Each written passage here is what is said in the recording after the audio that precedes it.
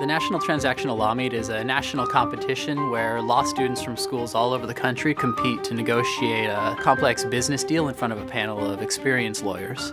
The Law Meet doesn't cater to just one type of student. It's for any student who's interested in transactional law. The law students that should get involved in the Law Meet are the ones that want to supplement their school learning with practical experience before they graduate.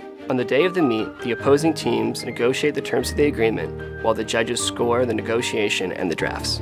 What I enjoyed most about the transactional law meet was the chance to get hands-on experience with a complex business deal before even arriving at a law firm. To prepare for the meet, we spent a lot of time editing agreements and practicing our negotiation skills.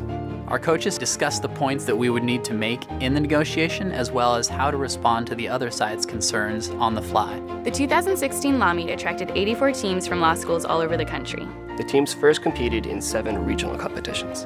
The most challenging part is having to respond in the moment in the negotiations. But that was also the best part because we got to show how much we prepared and how much we understood the deal. As the winners of the Chicago region, UCLA moved on to the finals in New York City.